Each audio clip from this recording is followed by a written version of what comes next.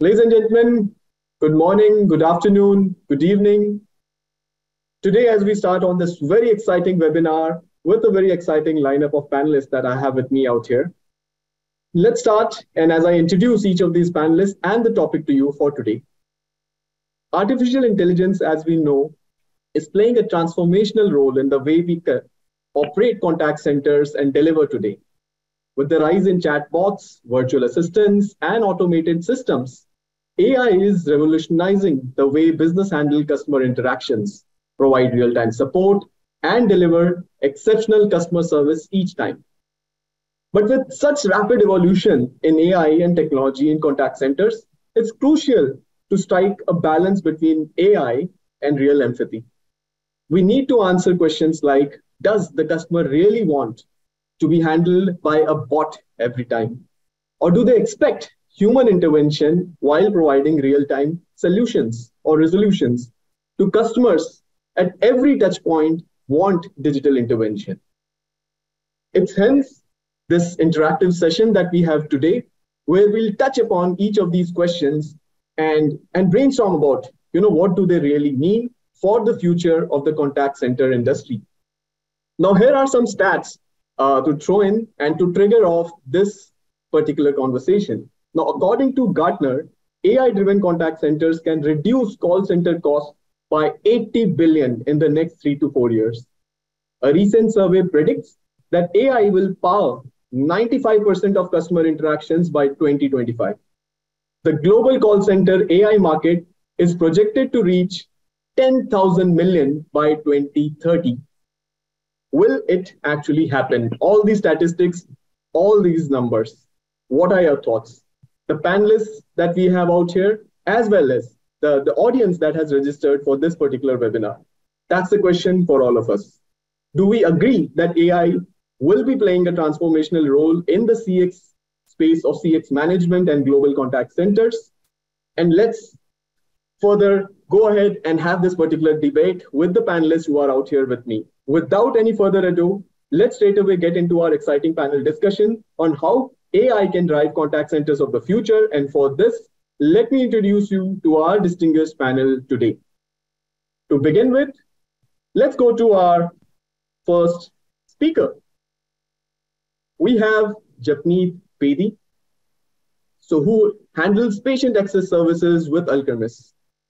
You can see her entrepreneurial background for the last 20 years and the experience in biopharma industry. Currently, Japneet is the Executive Director, Patient Access Services at Alkermes in Waltham, responsible for defining and executing vision and strategy for patient access services. Welcome, Japneet, to today's session. Thank you, Himanshu. Thank you for the great welcome. Wonderful, Wonderful to have you. Next up on the lineup is Michael Gamel, consultant in the education industry. As you can see from his bio, he has more than 30 years of experience, hands-on experience in the educational industry. He has set up homework help centers and online proctors to assist students and examination uh, examiners to take advantage of new technologies. Michael also advises governments on education policy and execution, and he also works with both private and public schools. Welcome aboard, Michael. Great to have you on today's panel. Thank you, Himanshu. Yep. And next up, I have Praveen Chadda, a veteran with about 20 years of experience in the entire contact center space uh, in the field of transformation, operations, new client acquisition, sales, clients, account onboarding, transition. Uh, he's somebody whom we look up to when it comes to CX transformation, analytics, management, and consulting. Uh, he has been leading transformational changes across businesses relying on new age tech uh, and with the focus coupled with client centric delivery, skilled in service level agreements. Welcome to the panel. Uh, I'm sure you will be bringing in a lot of insights, Praveer, in today's discussion. Thank you, Manchu, for having me here. I appreciate it. Fantastic. And finally, it's your truly, uh, yours truly, uh, Himanshu Mandro, Head of Solutioning at Datamatics. So I bring about 20 years of experience in the space of consumer insights, market research, both qualitative and quantitative research, and business analytics. have worked with organizations like Prudential, uh, startup organizations, Willis Towers Watson, uh, the insurance broking giant. Now, these are the organizations where I have led and built teams from scale knowledge services team in the space of analytics, CSAT, NPS research. Uh, I've also been conducting lectures and, you know, I've been a visiting faculty and speaker uh, at multiple B schools as well as, as well as at tech giants. So I think this is what the entire lineup we have today. Our panelists, let's uh, you know get started with the session. Uh, and as we go on, here is a quick survey for you, all of you, to trigger this conversation. Can we have the survey on the screen, please?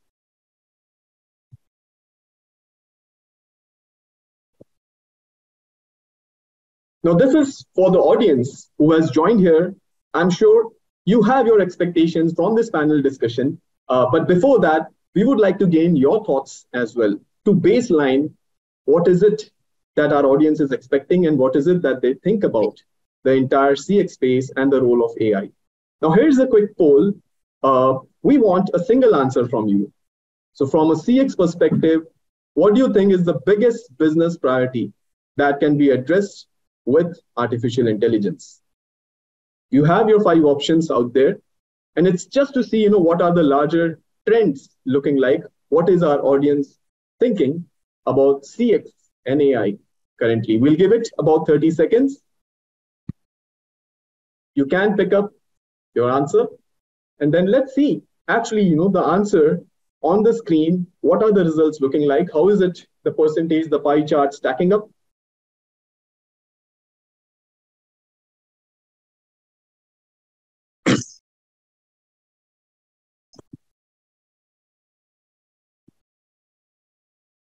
Okay, we see the results. So the biggest one, actually, it's a close tie. It's a neck on neck between delivering omni-channel customer experiences, the biggest customer priority, as well as improving responsiveness from an agent perspective.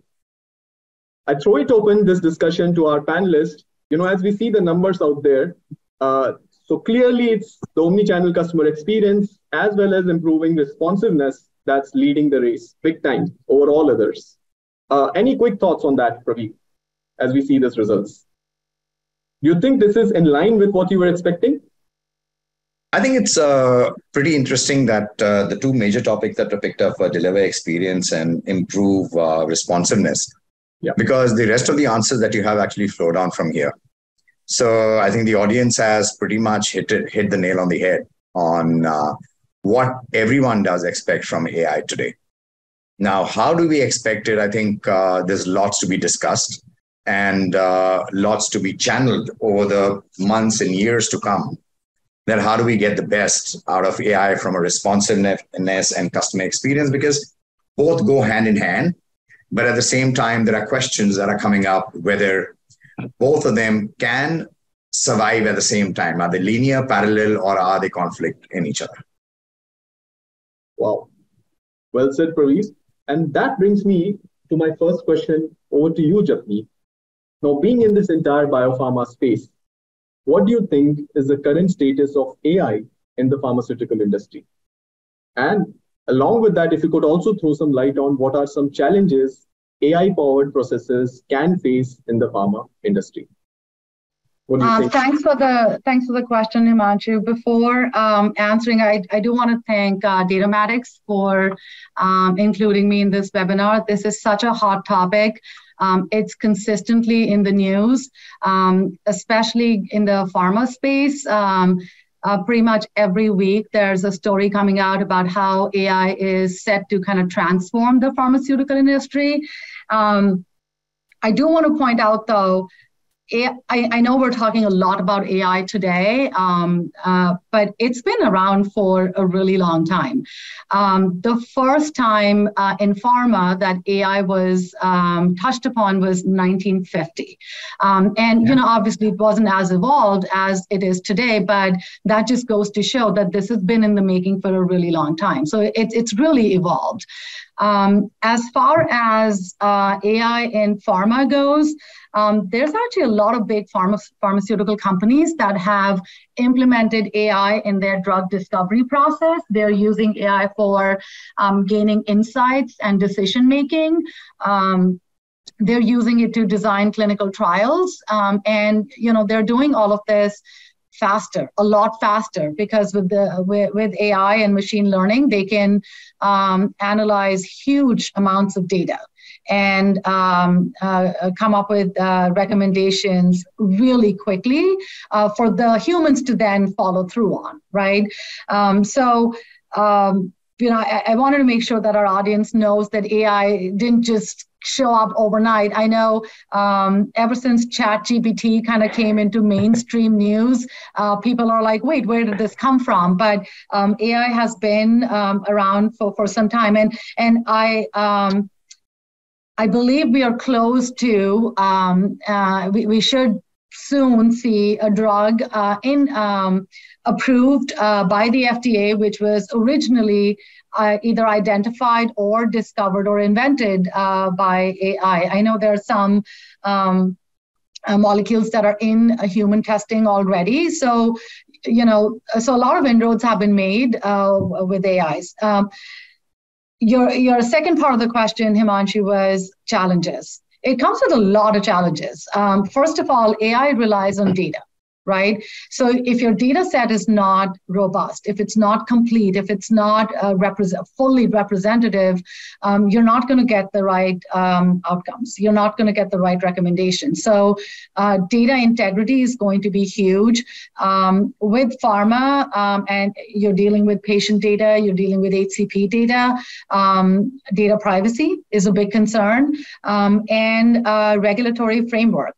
I, am not um, very well versed with how far the regulatory framework has come along when it comes to AI. But um, you know, those are kind of some of the things that I see uh, right off the bat.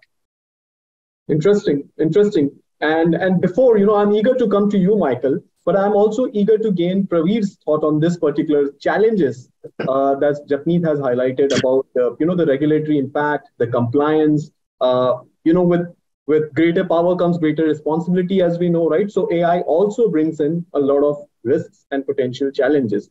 Uh, what are your thoughts uh, having seen this you know up close and personal uh, Praveer, i think uh, yes yes greater power you know comes with greater responsibility no doubt about that. I think are you quoting game of thrones if you want uh, or any of the others? That's pretty fine with that.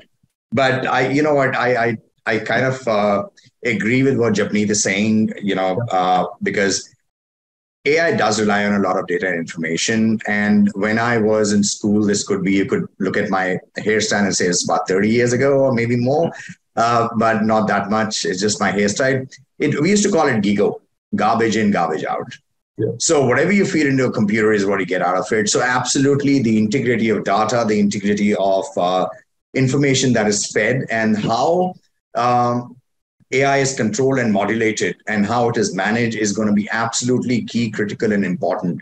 However, at the same time, uh, I would like to say that yes, there are risks, and there are risks with everything that we do and that we have done. I mean, with the advent of new technology, when we came out with new programs, uh, people started coming up with new viruses. And then we came out with virus programs, and then people came out with uh, next level of virus programs and antivirus, so and so forth. So, uh, what we try to obviously continuously do is stay ahead of the curve.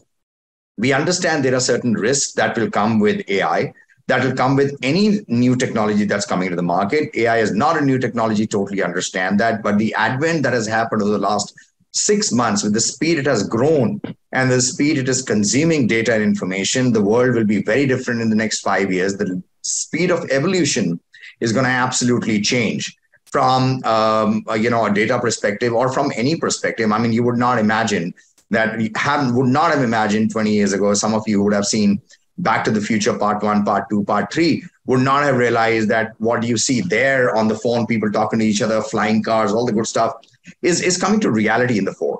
And in the next five, ten years, it will be totally a different world altogether. So yes, we will embrace and we are embracing AI technology. There are risks there, and as Japneet pointed out, at the same time, there are mitigants to the risks that are going to come up. So, from a perspective of the contact center, uh, if there are risks, and then how do we work around that? How do we ensure integrity of data and information? How do we ensure that the information that is coming out is there a second or third level of check? You know, you can even train AI to check itself. I actually tried that using one of the tools in Chatbot 4 to check chat, uh, sorry, ChatGPT 4 to check ChatGPT 3's information. Actually works. So mm-hmm. you can use AI to also monitor AI. And at the same time, that's where the human in the digital comes in. The human still does not disappear. The human just becomes a smarter human. It, I would say, is the evolution of the human uh, along with the evolution of uh, data and AI that we are seeing here. Praveen, if I may just add to that, I think, you know, with AI, it, it's mimicking human intelligence. So you cannot take the human out of it. And I and I love how you said it. It's it, it's making the human smarter. It, it's going to change our focus. Um, but it's it's here to stay and it's here to transform. Absolutely with you, Japneet. Yeah. Thank you for that. Evolution of the human, right? Smarter human, uh, and human will remain, right? Uh, human, yeah. uh, the smarter one of the both the species, I believe so. Yeah, but but but Himanshu, keep the Darwin's theory out of it. Don't go into that and say, you know, now it's the evolution of the human from a Darwin perspective. Yeah, let's not go 130 years ago, right? Earlier. Yeah. and that brings me, you know, from one part of the spectrum, from the pharma industry to what you have been witnessing, uh, Praveer, uh, to the other part of this entire panel, which is the education sector. Yeah. Uh, so, what is customer experience, candidate experience, student experience uh, in the education sector? Uh, Michael, this one is for you. Uh, so, how is this entire sector evolving and implementing AI? I'll, I'll keep it simple, and I'm sure yeah. you will bring in the perspectives.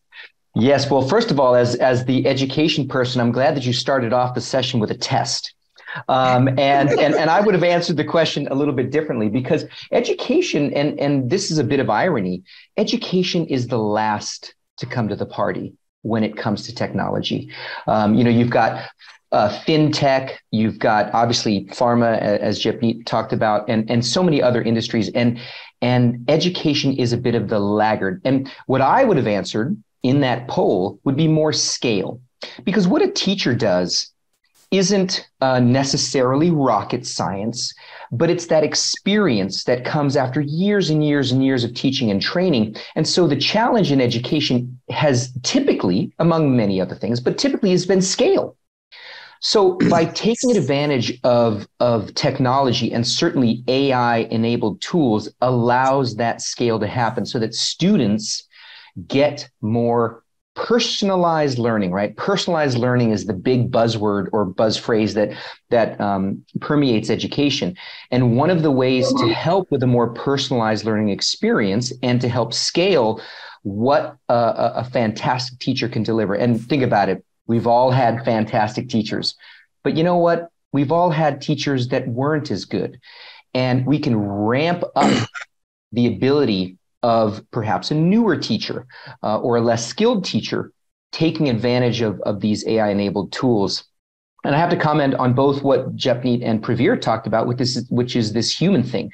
Um, you know, every now and again, you'll get a teacher that says, "Oh my gosh, am I going to lose my job uh, to an AI?" No, no, no, no, no, no. A teacher will never lose his or her job to AI. But I will say this: a teacher who does not use AI, a teacher who does not understand AI, will lose their job to a teacher who does know AI, who does use AI. So we really need to embrace these tools so that we can have a better learning experience for students, uh, empower teachers to do what they do best, which is, of course, teach rather than have them do a bunch of administrative things that AI now can do and do very, very well. So it is a slow evolution. It's getting there um, but it's something that that absolutely needs to happen in the education space. Uh-huh. Interesting, Michael. So, but I'm curious. You you mentioned about you know we have all seen teachers, great teachers, and not so great teachers. What does this spells for not so great teachers? Do, do well, remember that yeah. yeah, would be losing their jobs. Well, the thing is, is this could help ramp up their ability to become that amazing teacher that we've all that we've all had. Because remember that that we might hear about AI. Oh, I'm worried about students using Chat GPT to cheat on their exams. Well, what about the other side? What about utilizing AI tools to help a teacher become better, help better train? Um, I, I was I was talking earlier with some colleagues about homework help centers now, remember, in education, we don't call it a contact center and we don't call it an agent, but we but it's the same thing.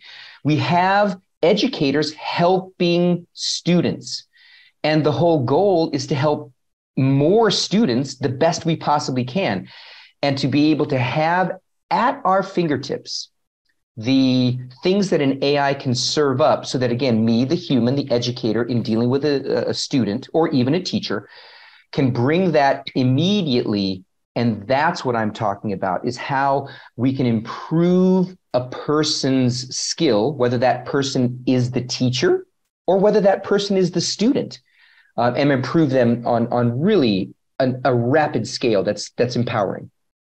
Wonderful. So Michael, so if I, if I can just, uh, yeah. Sorry, Himanshu. I just wanted to build on uh, what Michael was saying with the uh, analogy of the agent.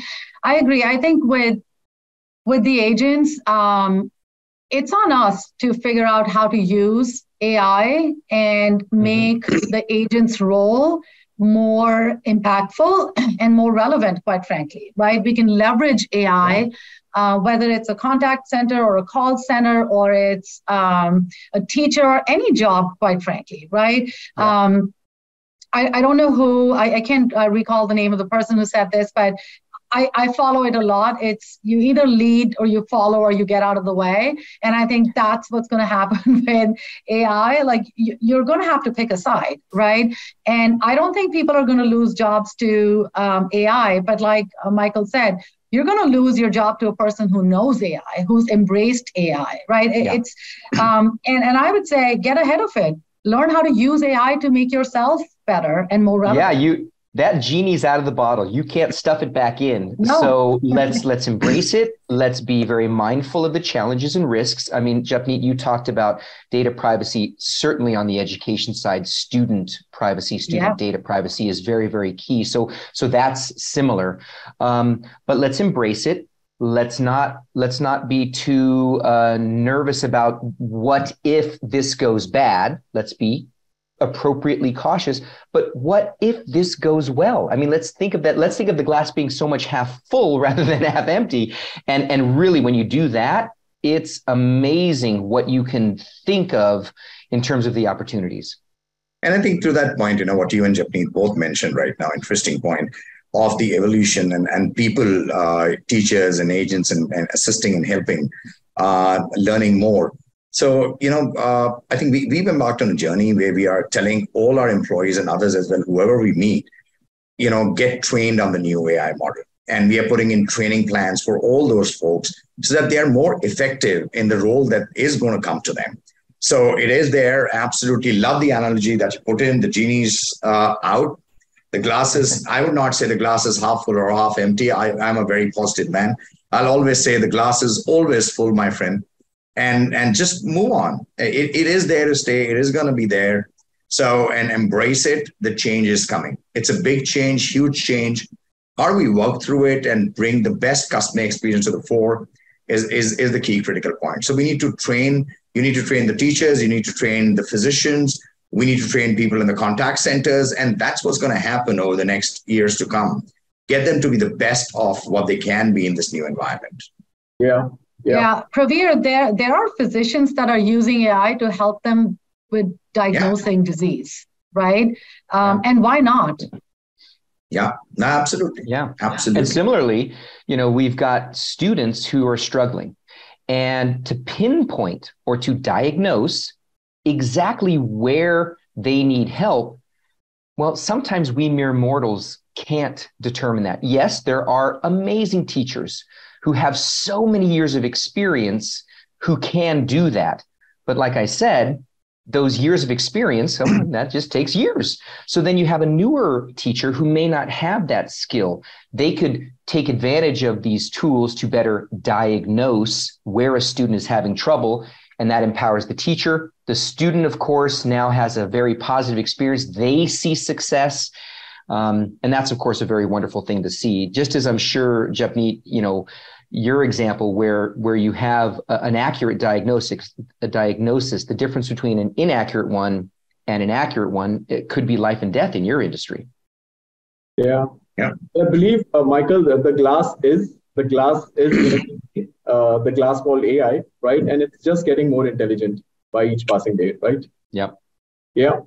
Brilliant. So, Michael, Praveer, Japneet, I think, you know, just like I have, you know, lots of questions, uh, you know, that I need to ask uh, each one of you. Uh, and so goes, uh, you know, true for our, holds true for our audience as well, which is out here. And I'm sure, you know, they have multiple questions as well uh, that they, they, would want to ask uh, either of you about education, about pharma, about contact centers, the customer experience part of it. so for our audience, guys, we'll be having this entire panel discussion for the for 45 minutes the 60 minutes that we have for today's webinar, the last 15 minutes we have, uh, you know, specially allocated to our audience uh, for a Q&A. What you can do is hold on to your questions so that we go on with the flow currently the, in the current discussion. Uh, maybe, you know, hold on to your questions, keep posting it on the Q&A window that you see out there, uh, and we can start picking it up uh, when we come to the, the last 15 minutes of this session. So just keep sending your question on the Q&A window uh, and we'll start looking at them towards the, the final part of this entire panel discussion. Yeah, sounds fair. Uh, and I believe uh, it's time, now that we have triggered this entire discussion, uh, and we started off with a survey, why not have another survey in this uh, panel discussion, which again is an interesting one. So let me see my team bring it up and take this discussion to the second part as we go ahead. Let's see. So here's the question. And this one is more about the evolution, uh, the smarter humans, the next stage. Where is it all headed towards? So, where is AI headed and how will it impact CX? We heard the business priorities, the biggest business priorities to start off with. And now, this is your thoughts. Where do you think we are headed towards? Will AI lead us to improved consumer insights. I think you, you, you keep getting better with the insights uh, that you want to understand about your customers and consumers. Will it lead to more personalized customer experiences? Will it free up human resources, as uh, Michael was mentioning, right? Uh, you've got to get better each passing day uh, because machines are able to do your job much better than what you were doing so far. Uh, will it lead us to sharper is- issue resolution across industries? Uh, and then out there is will it help mitigate risks? Will our risks keep getting lesser and lesser and t- tackled more efficiently with the future of AI? Now, what do you think? Again, it's a it's a single coded one because we want to see a conclusive response. We want to see the, the trends and the patterns and how does the pie stack up. So let's give it another 30 seconds and then let's see the results. Which, which one would you pick Japneet or Praveer, or you want to hold on to your opinions currently, or Michael, uh, so that not to influence the audience? Um, I'm, I'm going to hold on from my perspective. There's, yeah. there's lots in my mind around all of these. Well, let the audience poll come in. Okay. Well, I, will I'll jump in and, and I'll give the answer for for uh, for those on the education side. It is that personalized experience. Again, we talk about personalized learning, um, so anything that you can do to more humanize yeah. it, which by the way is in the topic, is in the title of this whole session, right? We're not talking about getting rid of the human and we're not talking about getting rid of that human experience. We're talking about how technology can actually improve it. Uh, and at least on the education side, that's that's what I sort of uh, focused in on. Michael, are you trying to influence folks? Do you have people on your side? hey, see how much you are able to influence, right? Uh, All right, there you go it's almost there, Michael. You have swayed it quite a bit. Yeah. So this one out there is freeing up human resources. Maybe that's the earlier part of what you were mentioning, Michael, right? Uh, so that's yeah, the, that, the, leader of yeah, the that, and that's part of it, right? Is is how can technology help people um, do the things that they're better at, right? So, for example, if a teacher is stuck doing administrative work well, then that teacher is not teaching. Mm-hmm. And so then AI can help that part. Um, yeah. So, for example, in, a, in my homework help, uh, in the homework help centers, I want to make sure that my educators are getting maximum value, that the students are getting maximum value from the educators who are helping answer these homework help questions. Well, something like a nice piece of technology to help with a couple initial questions from, from the student's perspective will then route that student query to the best person to help that student. Um, and that's what I would say is that freeing up the human resource. So they're not spending their time doing that again, diagnosis. Yeah. And then instead they're able to help more students. Yeah. And so I think what you're saying, Michael, is freeing yeah. up human resource time, not resources. I Correct. would, you know, just differentiate there a little bit because I think and the function, you know, you're right. yeah, as, as we are discussing, you know, making the human resources smarter to do uh, better level jobs and be better at what they do. Right? So I mean, I mean, absolutely agree with the entire uh, you know poll that's come out. Yeah. Uh, customer experience, personalized, and and that's one of the key things. CX customer experience the way you want it is is is is my tagline and our tagline, and that is going to be so enhanced and so to tune with the advent of AI, and, and I've got a million thoughts on it. I, I, I don't want to take away your entire time, Himanshu. I know you told us you've got only an X amount of time. A question for you, and I can't, uh, you know, resist myself for asking is uh, the mitigate risk part of it. That was, you know, out there just four percent. Does that comes as comes up as a surprise, uh, a revelation? Why is risk not being seen? You know, something that can be resolved through AI. So the interesting part is uh, mitigate risk through AI, when you address the factor that uh, customer experience the way you want it, if you're delivering that, you yeah. are mitigating the risk. So I think the our, our entire audience is pretty smart on that, not choosing something which is an outcome, which, which is anyway a given of something which you're going to deliver. Because yeah. if you're going to deliver customer experience the way you want it and, and you know the human resources, if you're going to enhance them, yeah. then you are anyway mitigating risk on the other side. So, so I, I, really applaud everyone who's answered that question. Yes, some people who did answer that, I think, I think your view on that is simple. That uh, yes, AI can be utilized to mitigate risks that might be existing today in current environment, and that can come in today. I'm, I mean, example. If some you know let's take a let's take a fraud right? In in a uh, insurance sector or a banking sector or or any of the financial sectors. So ai and club ai with blockchain technology i'm telling you it'll be almost impossible for anyone not impossible almost impossible for anyone to copy anyone's identity and try to cheat out of the way because you're looking at artificial intelligence leaning into different blocks of data lying all across which will actually tell you what's happening today and, and whatever's, you know, whatever you try to cheat out of people, it, it it's going to be so difficult. So, yes, uh, you know, I, I won't say people have disregarded that. I will take it that uh, people have accepted that it's a part and parcel of the given. Very interesting. So, Praveer, I know this is something that you are passionate about, and I want to bring in Japneet once again out here. We are talking about personalized experiences. We are talking about uh, you know human resources getting augmented, right? Getting better or freeing up their time. Now, here's something, Japneet. Uh, you have been running contact centers uh, in your space. Uh, how can AI driven contact centers maintain or enhance personalized interactions and also enable relationship management, which is a big one, right? Do you think somewhere AI tends to reduce uh, the relationship management part of it, or is it the other way around? What are your thoughts about it? I think AI helps. Um, we uh, we're actually starting to implement uh, some AI technology ourselves, where uh, number one, you take away the administrative burden, right? Um, you start with the basics. So, call center, you get a call, you can use AI to intelligently route it to the right place the first time. No one wants to go through a call tree and hit different options and wait and then land with someone that they didn't need to speak with and then start the cycle all over again. It's the most frustrating thing. Um, so I think AI can kind of really help with that.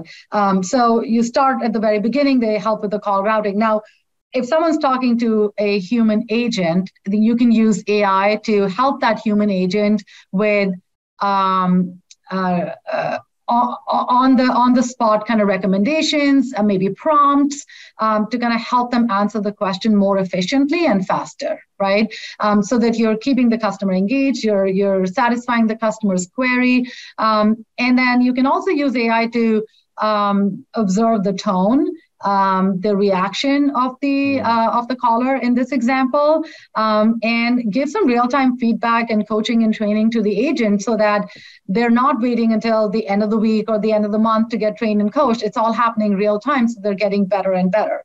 Um, and I, I, think the human element is so important here um, all along this journey. I think you use AI to get better, um, and then you strike a balance where um, you use AI to the extent you need it, and then you escalate to a human um, when it's relevant, right? Yeah. Um, I've been stuck in uh, on phone calls where I know it's AI, and it's so frustrating and i'm screaming at the phone. I just want to talk to an agent.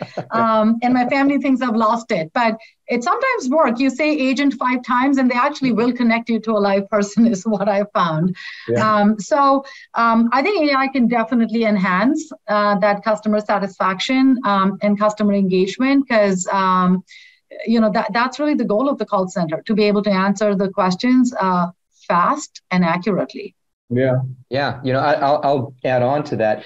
It, what you describe is 100% the case in an education situation where we're routing the student to the person who can best help that student. And that could be, again, a homework help situation, or it could be a, a proctoring, a proctoring situation where uh, the proctor is now empowered to be able to help more people because of what's available um, at one's fingertips uh, through that AI. Now, I should also say that in the education side, uh, and Praveer, you talked about data and then how that data is being used. There's there's some work that's being done where we're actually capturing biometric data in addition to others to put that into the mix so that we can be gauging the reactions of students. For example, a stress reaction if they're not understanding a concept and they're feeling a little bit, uh oh, am I the dumb kid in the room who doesn't understand this question? But then being able to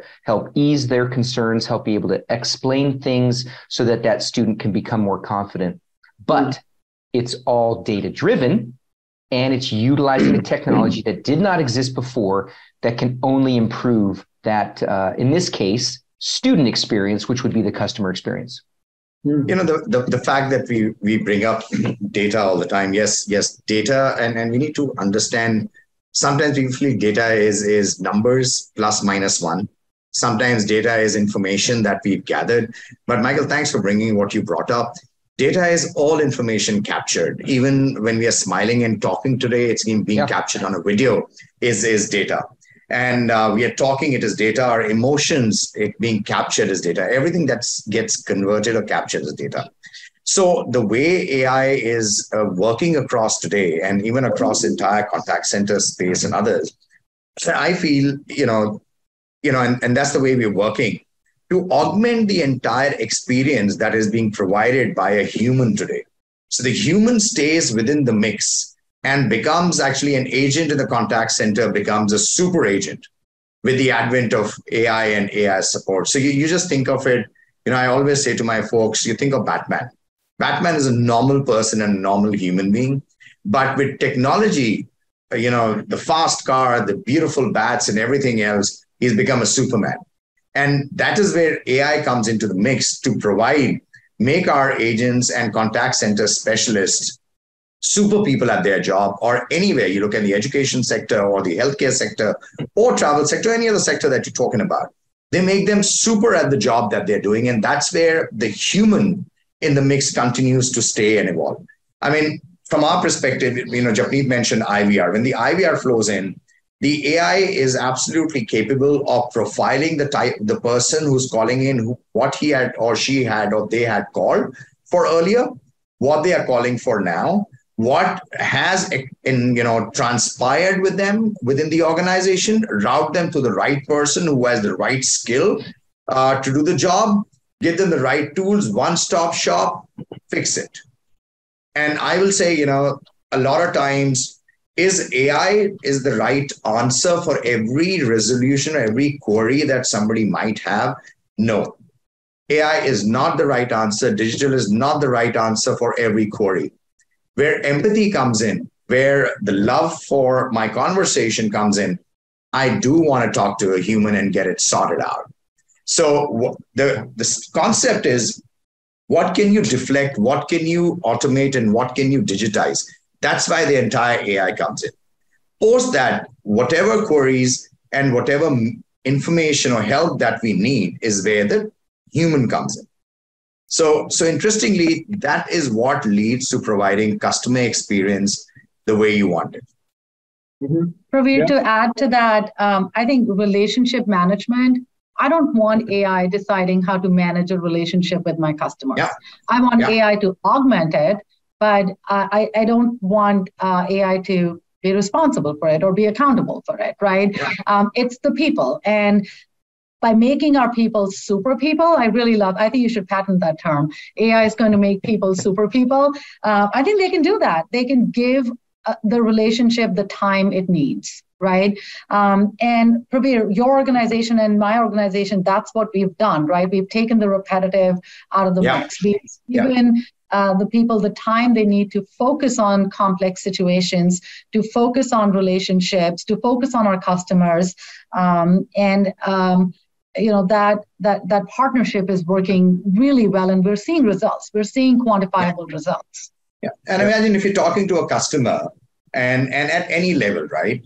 And you have all the required information, whatever's going on, whatever's happened, whatever's going on, uh, you know, in the industry, what's the best case scenario possible? The customer is really going to be much more happier with the resolution that you're going to provide because you're giving, you're not saying, hey, let me hold on, let me talk to my supervisor, or hold on, uh, I'm going to come back to you tomorrow. Let's have another meeting about it saves so much time, effort. It's a faster and a quicker resolution. With this changing world, we should also look at the human needs, right? The human needs are changing faster than we're imagining. Uh, I would not have imagined having an Alexa in my home about 20 years ago, right? Today, I just say, Alexa, I want some music. It just plays on. I'm not even looking at it. So, so the beauty of things is you don't have time for a lot of stuff, and AI helps you save the time. Does that take it out of the mix. It makes us more smarter, as you said. At the same time, the human touch, absolutely still. I mean, we were all all in the pandemic COVID mode, right? And and yeah, it was okay. But now everybody wants to get out and meet people. Can we not do it online? We can. But we still love to travel, sit down across that meeting, which could have lasted two hours. Today lasts only about 30 minutes because we've got all the information on our hands. And that's what AI is going to do tomorrow and today as well. Yeah, yeah. You know, I'd like to. Parts of our audience is changing too. Like I, I look at the new generations, right? Like I look at my kids. They they they don't know what it means to answer a phone call right? they're more like, why are you calling me? That's weird, right? They just they're more like digital or texting or you know Snapchat or whatever other social media True. applications they use. So so there's that kind of generation coming too. Yes. But I think they'll quickly recognize you can't you can't use social media to replace the human touch. Um, and maybe they'll mature into that or maybe not. But I think um, our landscape is changing as well. Yeah, yeah, I, will I'll jump in on that too because again, working with students as I do, it is changing, and it is that personal touch, that that human interaction, that relationship management, as you described it, Japneet. And and I want to thank Datamatics for for inviting me and even thinking about bringing education into this context. Right? Again, when you think of contact center, you probably don't think of education. Again, we just don't call it a contact center. We call it something different, like homework help and yes. and that sort of a thing. But but the same thing is driving um, the need and that is for that personal touch to be able to help people solve their problems and do it efficiently and effectively and then everybody's happy. So when we take these technologies and these tools and add it into the mix, it only expands our ability to deliver on the promise of helping our students, helping our customers. See, yeah. you know what, Michael, I, I I'm going to add a point here, which might contradict the entire subject line which Himanshu had brought up on the presentation. And we were talking about you were yeah. talking about humanizing the digital, right? Yeah. Yes. I'm actually saying it is digitizing the human today. Mm-hmm. Digitizing what the human is capable of doing mm-hmm. and supporting. So rather not not either which way, it's it's it's providing yeah. it's augmenting, uh, digitizing or augmenting the entire human capability to become better a better version of what we are and what we will be in our roles and jobs in time to come. Yeah. It's so a balancing act. as you, as you keep yeah. mentioning you know it's about deflecting at the right point right? Uh, and i've heard you speak a lot about it right very passionately. Uh, it's a continuous loop right? Humanizing the digital and digitizing the human right? It goes on. It's continuous. The, the right set of deflectors at the right point yeah. as Japneet, you were mentioning right uh, at times you are annoyed and you want to speak to a human. But at times you want more efficiencies more scales right? And that's where you want more automation to be in the entire yeah. process. Yeah. Uh, Japneet, you also mentioned about the changing audience landscape. And would you know you know we have a very interesting fascinating audience out here today. Uh, and the kind the spate of questions that i can see you know coming popping up on our screens uh, you have a busy next 13 minutes uh, you know so we have a range of questions out there. Uh, I think, and uh, we are right on time. Why not? Let's get started with uh, the Q and A, which the audience wants to, uh, you know, pick up on you from. Should we start? What do you think, Japneet, Praveer? Uh, no, I think that's good. Uh, Himanshu, I don't have 13 minutes. I actually have to jump off at uh, five minutes before the webinar ends. So, um, yeah, no, I think it's good. Uh, let's keep it interactive. Yeah, sure. So here's a question from John Fremer. Now he's asking, you know, what about getting training in AI, right? How do we get the training started? Are there any foundational sources that almost anyone should use when it comes to AI? Anyone that wants to take a stab at it? you know, let me let me jump in really quickly. Um, yeah. I'll jump in. I know you have to leave a little bit earlier, so I'll I'll have you you also give your thoughts. But but I think that just um, being aware, like you don't. There's this concept called explainable AI, um, and and there is something to be said for understanding what is what is happening, right? The fact that it is processing data, it's not magic, it's not voodoo, um, and so understanding that I think is helpful. But the other thing I would recommend is if somebody isn't using even ChatGPT, and by the way, ChatGPT is one of dozens of of LLMs, you know, um, large language models that are out there. But but fine, let's just use ChatGPT as an example. Play around with it. If you haven't then you should, because what you learn, to Praveer's point earlier, is that computers are dumb. They're, they only do what you tell it to do. So what I've learned over my course of, of interacting with AI is I have become better at asking questions. Or Japneet, kind of like you with the with the phone call, you're better at saying those things that you need to say to get you where you need to go. Again, this is an evolving technology. And so I think even that would be foundational learning. But uh, what, what else would you say here? Yeah, I, I, think be curious, right? Like use AI to learn about AI. Um, I was I was actually looking into some uh, just even courses like within healthcare because you know I want to extend my knowledge on this, and um, th- there's a lot that universities and colleges are offering as um, uh, AI in healthcare or AI in pharma or you know so so there's a lot out there. I mean I yeah. I definitely want to uh, want to do that. But um, go to Chat GPT and tell it to define AI and ask Chat GPT all these questions and yeah. it'll tell you. right. Well said. Well said, uh, Now, there, there, are, there, there, are there are training courses, etc. Whichever you know, if you ask someone, and I'm sure all of you can type in right to Michael as well. He can point you toward the right teachers who'll tell you. But I think what Japneet and uh, Michael said both is is absolutely that, that's how I learned a lot when ChatGPT came in and how to use ChatGPT. I asked ChatGPT how to use ChatGPT, and yeah. and and it's just you know being very specific on the type of question that you're asking. And there are uh, how should I put it? Uh, there are uh, actually language models which are teaching you how to use language models. So if you just ask the GPT or any of these uh, that how can I have a language model to teach me how to use a language model, you will get that language model within itself. So there's a lot there. Um, besides, there are training courses as well. If you have any questions on what type of foundation sources or courses anybody wants, uh, always shoot an email across to uh, myself or Himanshu or any one of us on, on this webinar. We'd be more than happy to uh, you know guide you towards those specific courses which can help you. Fantastic. Thank you so much, Praveer. Uh, but the audience is not yet done, so we have more questions lined up for you. Uh, now, here's something from uh, Dennis Martin. What type of biometric data are captured by AI? You know, is this something that would only be applicable in an in-person environment? Uh, and you know, I'm, I'm not sure, Japneet, are you still there with us? Michael? Yeah, yeah. Uh, you know, yeah, or Japneet, thank you so much, right? So either one of you can want to, you know, take a stab at this one about the biometric data part of it. Uh, and is this applicable in just in-person environment or uh, otherwise? I'll, I'll just make one statement. I'll let Michael answer that. But I think the question needs to be reversed. Like, what biometric is not being captured? Like, I, I think everything's on the table, right? Like Praveer said, it's not just like don't think of data as you know words or numbers that you're seeing uh, seeing on a screen. It's everything that's under observation. So everything is on the table.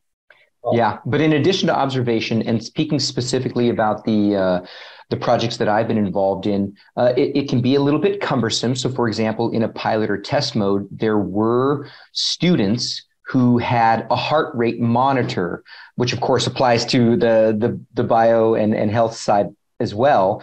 Um, but there were other things where uh, it could track your eye movement. So it could track your eye movement as you're reading, or of course, it could track your eye movement if you're looking off to the side because you're no longer engaged but other things like your body temperature, your heart rate, um, all being connected. Um, so, at least in terms of its application within education, things were being tested. It is a little bit clunky because obviously, who's going to want to wear a heart monitor or, or, or any special devices to to gather some of this biometric data? But but it's an idea. It's an idea that that is worth exploring. Again, if we take the healthcare side, well, then maybe if I'm having a uh, a telecall with my doctor, well, then yeah, I am hooked up with a monitor or something. But there's no limit to the biometric data that could, in essence, be captured if there was a thought that it could help with the predictive capabilities of AI. And that's ultimately what we want to do is we want to try to anticipate to have a better customer experience. Michael, if you're wearing an iWatch, then then you're you're already being which I'm not. yes. Oh, I know. So here's another one for, for you, Michael, specifically. Uh, as we are talking about biometric data, right? More and more data. So it's a, it's a data, data everywhere, right? Uh, it also leads us uh, to the practices about data governance, regulation. Japneet, you mentioned about it earlier. This one is for you, Michael. You know, so how are we better managing or safeguarding student data privacy? So paramount for students and candidates out there, right? Yeah, yeah, yeah. Um, I'll I'll take a brief pause to say thank you, Japneet. I know we know you have to to jump off. Uh, great chat, chatting with you as always. Yeah, uh, yeah absolutely. Um, thank you, everyone. I'm just going to leave you with one thing, uh, and yeah. hopefully there's uh, folks from the pharma uh, space that are watching this webinar. Uh, but Morgan Stanley has estimated that in the next 10 years, there'll be 50 new therapies and $50 billion in sales um, um, uh, driven by AI. So, so that's uh, something to take note of. So I, I'd say just get with it, partner with AI. Yeah, so Japneet, just tell us where to invest in. Uh, should we start investing? I'm, I'm happy to just pull up and start putting some dollars left, right, center. you got it, Praveer. You and me. Thank you. All right. Thank, thank you. Thanks, uh, Himanshu, thank you. Great, uh, great facilitation. Bye bye. Thanks, Japneet. Thank you. And, um, and well, to, to jump into that question, though, Himanshu, that you asked, student privacy, of course, is a very big thing. Uh, and, and a lot of what's being monitored is not just here in the US. So, for example, the EU um, is also doing its uh, regulation. Uh, the EU, in fact, just passed the AI Act not too long ago. And frankly, there are a lot of people not too happy with it. They think that it might stifle innovation. Um, and so there is this balance. We've talked about that before. In fact, Japneet talked about this balance. Well, the balance has to happen on the regulation side as well, because we have to encourage innovation, but we have to be mindful of the risks. And in the stand, you know, for for things like student data, um, obviously things are anonymized. um, and and then only those who have the key, right, parents and students themselves. In many cases, even certain amounts of data being aggregated aren't even open to the teacher um, to again protect students. Uh, but but this is part of that balancing act, um, and and I don't think we need to live in fear of it. I think we need to be very mindful. We need to be very respectful of it but we have to push forward uh, because the opportunities are just too great if we don't keep plowing forward. No, I think Michael, you, you said it right. Uh, the HIPAA regulations, you know, looking after the healthcare segment and, yeah. and the data on that side, uh, and and uh, you've got GDPR regulations in Europe. Mm-hmm. So all these regulations actually even apply to anything and everything that has been captured by, by AI by any organization. So, mind you, while Europe might have might be the first one to come out with the regulation around AI, but that's more around uh, the usage of AI, etc., and how AI uh, is impacting certain industries and what you can do with it. But uh, with all data and information that you're capturing on any side of the world is still governed by all data privacy acts. Uh, last year itself, yeah. If I remember, the state of Los Angeles was LA was the first one, LA County. I think California was the first one to come out with rules and regulations around online proctoring. So, so those rules and regulations around data still apply. Yeah. So, you know, and, and people should not be privy of the fact that they go across to answer the question for the audience. All data privacy rules and acts still apply, whatever does get captured through AI. Mm-hmm. Yeah. Praveer, I'm cognizant of the time. We have three minutes to go. Uh, but I have this one very fascinating question from Steve Reimel. Uh, and this is probably for you, Praveer. Uh, very interesting one. You know, let's have uh, let's read this out. So we understand that uh, a satisfied employee employee leads to a satisfied customer, right? And as we keep talking about customer experience out here, enhanced customer experience, and all the AI tools. Now, what with all the AI tools that uh, an agent has to deal with day on day, right? Uh, the virtual assistants, the conversational AI, the chatbots, uh, the, the range of data sources, omni-channel that an agent has to deal with. How is AI helping agent satisfaction? Oh, uh, int- very, very interesting point that you brought up. So a lot of, so what is an agent's role? An agent's role on uh, who is on the other side helping the customer is to make the customer's job easier, right? Yeah. With all these augmented tools and technology that comes in, it is making not only the resolution easier for the customer and providing the experience the way you want it with all the information, but it is also making the job of the agent easier. I mean, I can today look at all the information and answer really fast and get on with it and get on to the next job that I want to do, get on to the next customer that I want to do. right? Then to get on to the next information that I want to take care of. From an agent perspective, when an agent enters the contact centers today in, in, in our environment, um, you know, uh, what kind of job skill is the agent fit for? What kind of uh, pers- pers- personal preferences the agent has? All that is, we are currently utilizing an AI tool to map that and put the agent or the personnel in the right job. The point is, if you're in the right job, in the right role, you're bound to be a more happier person than if you are in a place or a role, which while one you might not be good at, or you're just doing it to make some money out of it. So I would look at it from both the perspectives. AI utilizing people to get the right role and the right job that they should be in, the right fitment will make them a more happier person in the job that they're doing. And then the augmented technology supporting them makes their job all that more easier. So it's it's just you know just living off the fly. And it's like one plus one is equal to two and not 2500 into 250 plus 25 mi- minus 600 2055 is equal to what now what is the answer one one plus one is equal to two and that's what ai helps you to do okay yeah. i would also like to take up one more question besides this and i have been seeing that uh, an anonymous attendee mentioned how can AI driven contact centers be designed to specifically cater to diverse cultural nuances and mm. communication preferences of global customers across regions? So I, I will uh, chime in here and say AI, that is where the human in the digital comes in, or the digital in the, you know, the human side continues to exist. Uh, replicating cultural nuances and communication preferences is not where AI is today. I don't think AI is going to reach there for a very long time because cultural nuances and communication preferences and needs of people continue to change over a period of time. So, so, but at the same time, yes, AI can help augment on how to service these customers better.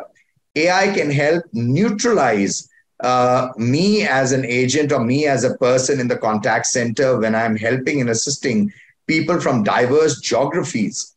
So that neutralization can happen, the information can happen. However, the cultural replication and replic, I would say, not even replication, replacing someone understanding the culture and the communication still will not happen because that's a continuous evolution. Uh-huh. I'm glad you brought that up, Praveer. I, I, I, know we're, we're running over time, but I wanted to comment on that as well because in education, and if we're talking about a proctor or we're talking about an educator helping in a homework help center, a student comes to them. So many students are English language learners, and it, there are cultural and language issues, and the technology only helps them. It's not going to replace, yes, you know, the culture to culture. To your point, but the technology helps us help those students, um, and and that's only improving and only getting better. Wow, well said. Well, do we have another minute? I want to answer another very important question. and, and yeah, of course, you know, Praveer, Praveer, you can take a minute, but I would really, uh, you know, you can take a minute. Okay, all right, I'll do that. I'll just take one. You know, can we say AI are nothing but invisible robots, robots, and also mistake done by AI in the process can have bigger damages than manual mistakes? Well, let me put it this way. Uh, I would not say they're invisible robots. I would say they're invisible assistants to you. Like any tool technology, your computer that is working today is an assistant for yourself. It is not, it, and you can use the coin the term robo but it is an assistant for yourself. Like your pen is an assistant when you write. Earlier in times, people used to use a, you know, a, a chalk to write on a marker, on, on, a, on a board. So this is just the technology changing from a chalk to a pen and then pen from a laptop and a laptop from spoken speech to so and so forth. So let's take it that way and not in a manner. Mistakes will happen, can happen and will continue to happen over a period of time. But as I had pointed out earlier in my discussion as well, we all continue to work together towards mitigating. Let's create a bigger antivirus than the virus. Always. Yeah. Thank you. Love Thank that. you, Manchu, for that extra 30 seconds. Thank you so much. I couldn't resist uh, myself. Extra 30 seconds at, uh, believe it's 1 p.m. your time, Praveer? Uh, no, that's all right. It's just daytime for me, right? Don't worry about it. Yeah, yeah. So, I mean, uh, so thank you so much, Praveer, uh, and also for our audience, right? Uh, for the patients, especially for those uh, from the Asian countries, Australasia. Uh, it's really, really late, and you know, so must appreciate the audience for their patience for staying up so late. but you know, if I was the audience, you know, Praveer, I won't mind, you know, going another 15, 20 minutes extra for this fascinating topic. uh, and, and the way, you know, uh, Michael, Japneet, praveen uh, you have been bringing in a lot of perspectives. I'm sure, you know, we need a sequel. Uh, we need a follow-up uh, on lot many questions uh, that our audience have. there are some of them, guys, we may not be able to take all of it because of time constraints. but thanks to all of you for joining in. What you will see out there on your pane would be we are talking about customer experiences, right? And it's hard to not uh, ask for customer experience, your own feedback before uh, winding up this entire webinar. So please uh, put in your feedback about various, various facets and features of this particular webinar. Uh, you know there is a there is a score out there you can see, uh, and also any other uh, freewheeling comments about you know what could have been better, what is already better, and what are the possible topics you would like to see in the future uh, in this entire series in the space of CX and AI and contact centers. Yeah, uh, and I would just like to take uh, you know a minute uh, to wrap it up uh, this entire discussion. Uh, as we have seen in today's discussion, it's important for enterprises today to differentiate where AI and technology would play prime and where the human touch needs to be defined. it's crucial, as you have been mentioning, Praveer, right, to humanize the digital, but at the same time, digitize the human to create customer experiences that are personal, engaging, customized, authentic uh, at the same time. It is crucial to create human to human, edge to edge, right? We say B2B, B2C, but more important is edge to edge, human to human interactions that are augmented by AI technologies. Look at technologies as an assistant rather than a, a robo challenging you, right? It's there to collaborate. Simply because the future, as we think, uh, and I, I would think you know our audience would agree, so would you, Praveer, Michael, it's not human versus AI, as we keep hearing in so many debates.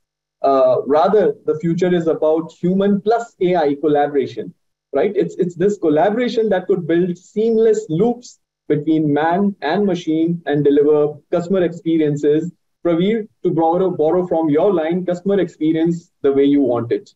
Do you think it sums it up well, or you would have another line to add to it, Praveen or Michael, before we uh, hit, That's uh, great. Audience, yeah.